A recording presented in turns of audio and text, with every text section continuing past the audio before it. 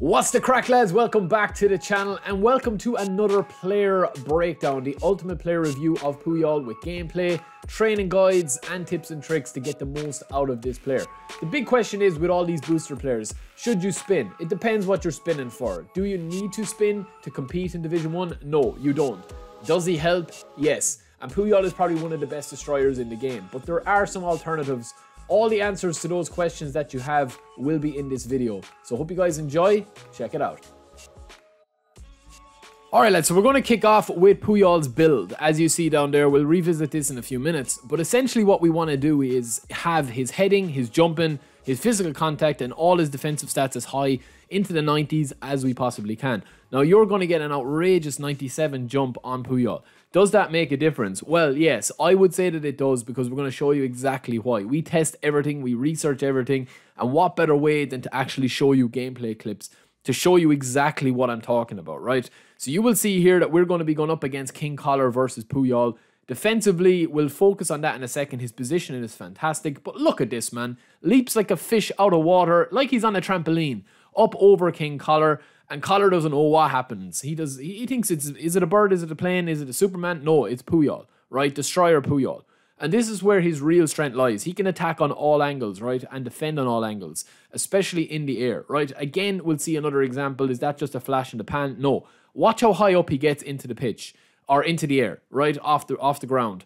Um, ridiculous. You can see the length of Koller's legs there, but Puyol is up the same height as him. Now, this is kind of built in animation wise for players that have got a really good jump. And as you see the play develop here, um, that is that is kind of like a really big ability for Puyol. This has got to do with his jump, his physical contact, and obviously the fact that he's got the player skills. As I said, we'll revisit that and look at that build in a little bit more detail under a microscope in a few minutes. Now, on the ground as well, I would say that if you are making a decision to play with a destroyer, I would say that Puyol is one of the best destroyers in the game for hassling, harrying, and just getting blocks in. And this is what you want from your defenders. Now, you always need a defender to kind of hold position. Puyol is good at that, but it's not his main strength. His main strength is doing exactly what we say there, and what we see there is to like kind of be resetting himself. But then when he gets a sniff of the ball at all, he's literally like a, a shark in water, man, smelling blood. He just goes for it, right? Now, this can be to your detriment as well because he is quite aggressive if you're not used to playing with aggressive defenders. But his positioning is pretty much better than anybody else in the game in terms of winning the ball. He always, always wins the ball for me, right? Now, you might ask, are we playing with this version of Booster Puyol? We're not. So we are playing with this version of Puyol, which we're going to be comparing, okay?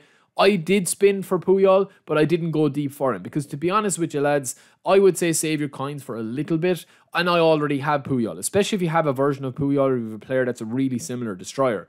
Now, what you get with Puyol, as I've already said, is really good on the stick control. He's really responsive on the pitch, and you're able to kind of like um, push him, pull him into whatever position you want.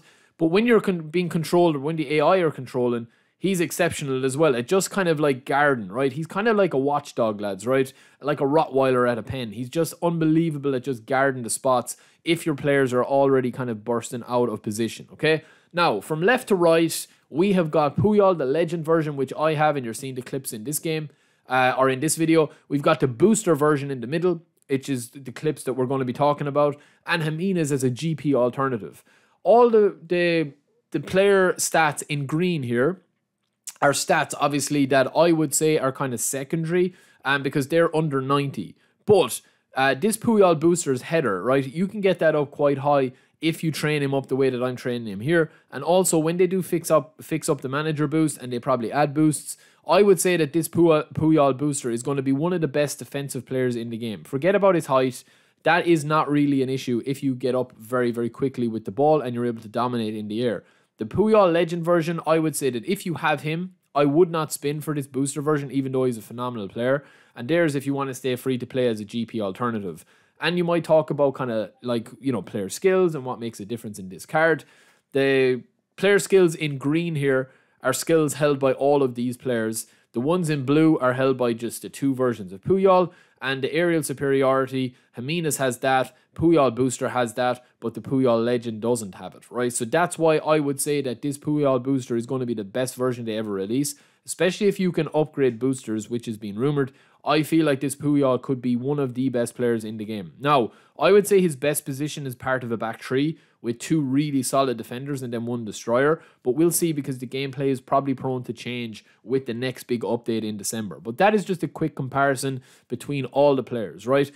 Puyol Booster is not going to just win you games automatically. You still need to do stuff with him, right? Positioning wise, he's fantastic. There's no doubt about it in my mind that this Puyol is probably going to be one of the best, right? I have played probably 150 games with Puyol since I got him like a year ago. And he is phenomenal, right? I've slotted him back into my squad now, and he just doesn't make any mistakes, man. You see in the trailer here that they have, he's just a phenomenal, phenomenal defender, right? And so aggressive, which suits my style. So that is it for me, lads. Whether I recommend him or not, I mean, listen, if you've got coins, you will definitely spend them on worse t- uh, worse players. He is kind of like a mainstay in your centre back partnership if you do have a four flat um, at the back formation, or even if you've got a three five two or any variation of that. I definitely recommend him, but I would say that you can get by without going for him as well, right? Obviously, it all depends on your perspective whether you want to spin for him or not. But that is just a quick ultimate review of Puyol. Let me know if you did spin for him. I know a lot of people are calling him the GOAT defender in the game at the moment. Um, Tommy Ashu says hello still, but uh, let me know what you think. I think he's fantastic, lads. He's a joy to play with. But let me know, and I will talk to you later. Don't forget to like and subscribe. Peace.